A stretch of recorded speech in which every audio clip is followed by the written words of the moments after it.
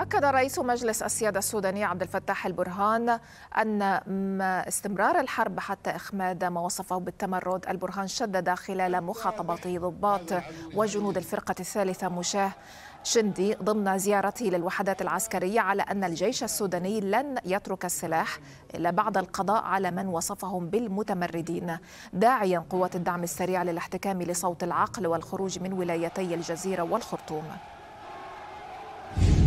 المعركة مستمرة حتى دح هذا العدو نهائيا.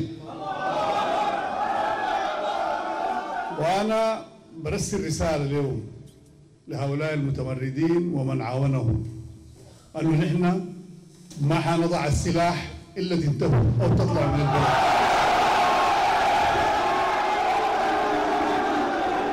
ونحن ماشيين عليكم وجايينكم فأفضل أنكم تخطوا السلاح تسمعوا صوت العقل وتطلعوا. أطلعوا من الجزيرة أطلعوا من الخرطوم أقعدوا برا. كان عندكم كلام ثاني تعالوا تكلموا لكن أنتم قاعدين. قاعدين في بيوت الناس محتلين الجزيرة ومحتلين الجنين ومحتلين زالني وتنهبوا وتقتلوا وتسرقوا ونحن ما عندنا معكم كلام. كلام انتهى. معركة بعد نهايتها نجي نشوف اللي بيحصل شنو إن شاء الله.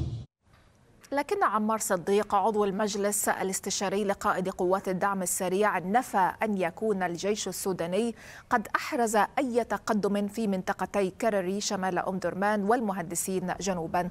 قال صديق في تصريحات لوكالة أنباء العالم العربي إن قوات الدعم السريع ما زالت تطبق حصارها على منطقة المهندسين بل إنها تقدمت إلى الأمام في هذا النطاق مضيفا أنها لم تكن موجودة أصلا في كرري بينما كانت تحدث مناوشات في بعض الأحياء القريبة من وسط أم درمان وأحيانا تسلل لبعض الجنود بحسب الوكالة. هذا وكانت القوة المسلحة السودانية قالت إن قائد الجيش الفريق أول عبد الفتاح البرهان وصل إلى مدينة أم درمان الجمعة في زيارة تفقدية بعدما وصفتها بأنها انتصارات كبيرة تحققت هناك.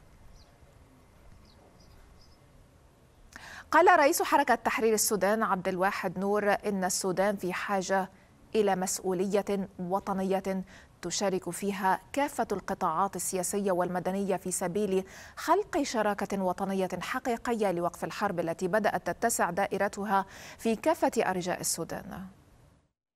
قررنا أنه في حركة تحرير السودان أنه عندنا مسؤولية وطنية وهذه المسؤولية الوطنية أدناها أنه نفكر في أكبر جبهة وطنية مدنية في تاريخ السودان.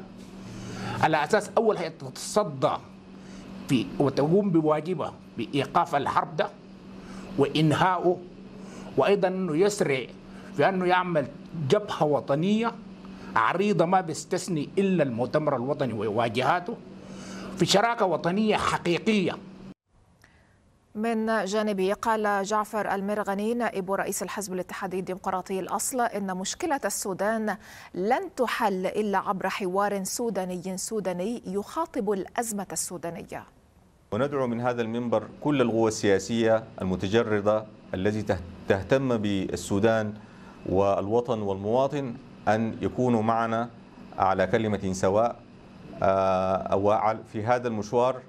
فزي ما قال الرسول عليه الصلاة والسلام المرء غوي بأخيه فيد واحدة ما بيصفي